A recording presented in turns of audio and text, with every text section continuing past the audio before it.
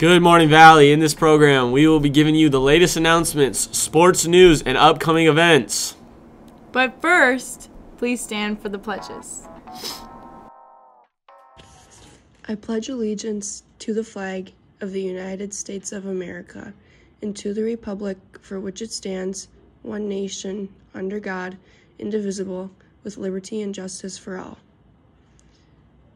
I pledge allegiance to the Christian flag and to the Savior for whose kingdom it stands, one Savior, crucified, risen, and coming again, with life and liberty for all who believe.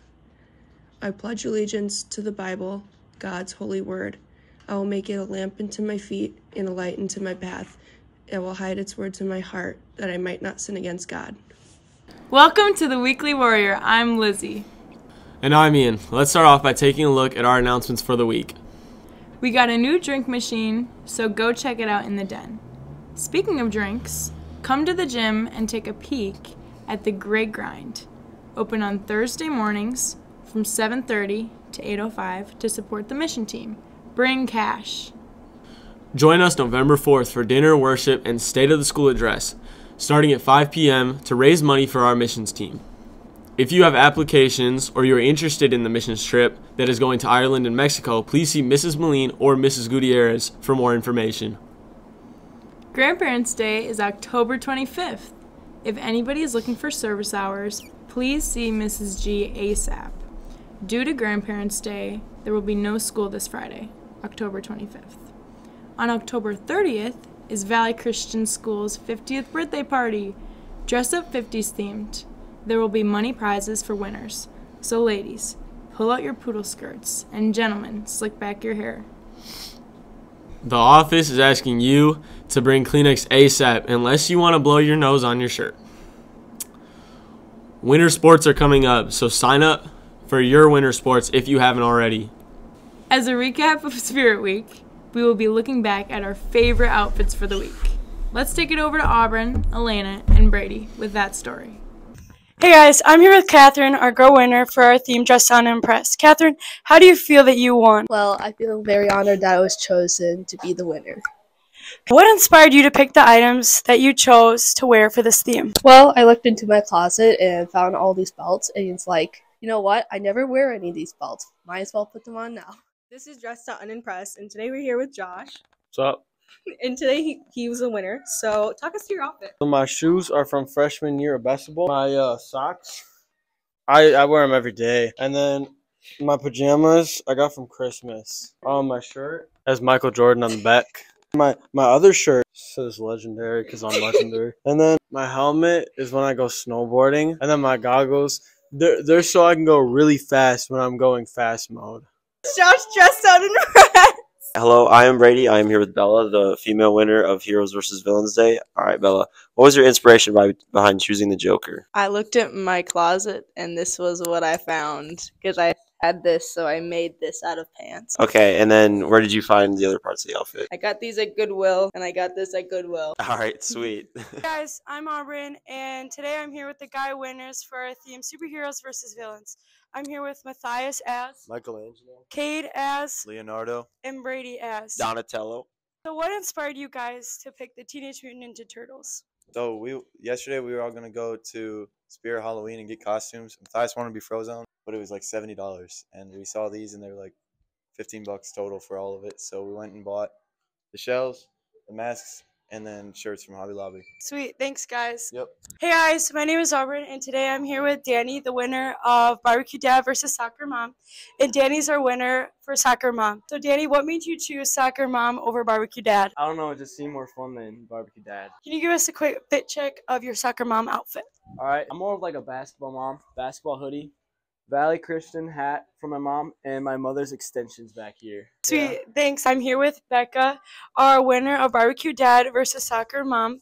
So, Becca, what inspired you to choose the Barbecue Dad over the Soccer Mom? My father. Uh, he is definitely a barbecue dad himself. Sweet. Can you give us a quick rundown of your fit? Of course, of course. So this tong thing here was in my like um it was in okay, I can't think of the name.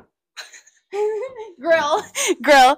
Uh this is my father's shirt and shorts Uh, this is my own hat, and I did get a bald cap from Spirit Halloween because my father is bald.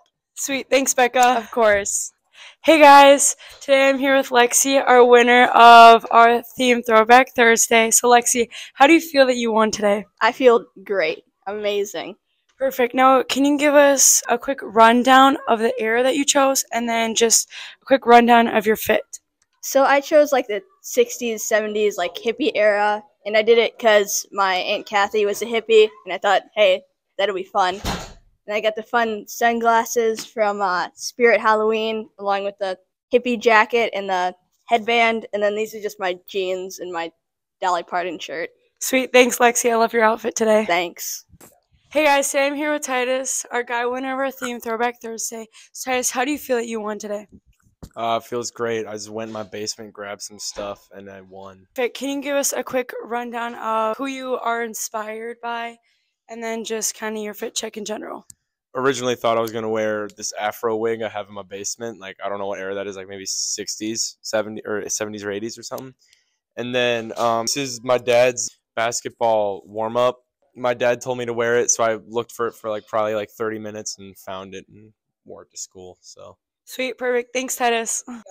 Hey guys, I'm here with Derek, our guy winner for our theme Warrior Wear. So, Derek, how do you feel that you won? Uh, I feel pretty good. Uh, I think I'm very well deserving. So, what made you want to wear the school mascot? Uh, I saw it in my mom's office. Shout out Debbie. Uh, and then I asked Mrs. Burr if I could wear it. Shout out Mrs. Burr. And so I wore it. Sweet, thanks, Derek. Hey guys, I'm here with Mrs. Jonas, our girl winner for our theme Warrior Wear. So, Mrs. Jonas, how do you feel that you won? Well, I'm kind of surprised that I won. I mean, I went, I tried to go all out, but that's kind of exciting. Can you give us quickly a rundown of your outfit and just the items that you're all wearing? All right. So I have ribbons in my hair, blue and silver, and I've got glitter in my hair, but you probably can't see it on the camera. Got the face paint going on. I've got a football um, sweatshirt. I've got a football shirt underneath my puffy vest. I even have navy and white rings on. Um, I don't know. I mean, blue jeans, but that's kind of that just kind of goes blue. It got lucky that way. Sweet, thanks, Mrs. Jonas. Thanks, guys. Now let's go to Cyrus and Derek with Senior Sports Spotlight. Welcome to our fall sports recap. I'm Cyrus. And I'm Derek. This past Friday, your Warriors took on Princeton Green Lake for our homecoming game. With 20 seconds left, Matthias Bailing had a one yard rush to take the lead 22 to 16.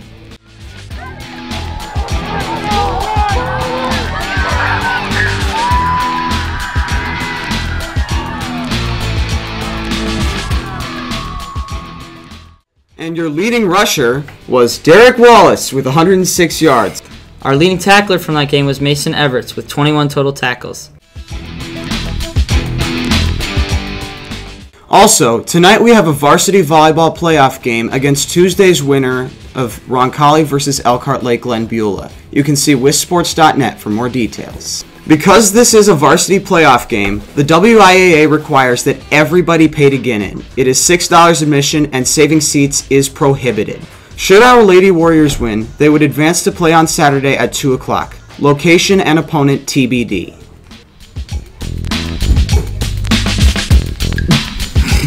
Cut. Thank you for putting your all into your sports throughout the years. Now let's send it to Jordan, Nathaniel, and Quinn with Minute to Win It.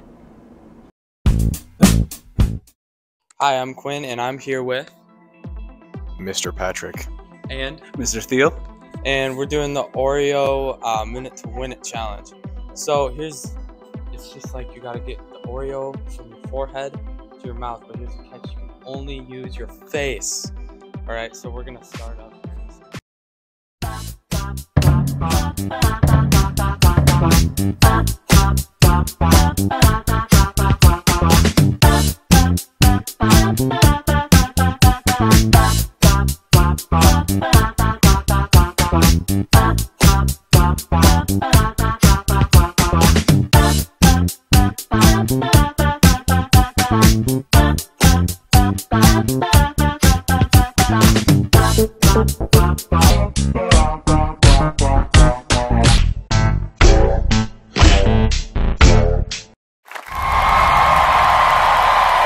Feel after that glorious victory?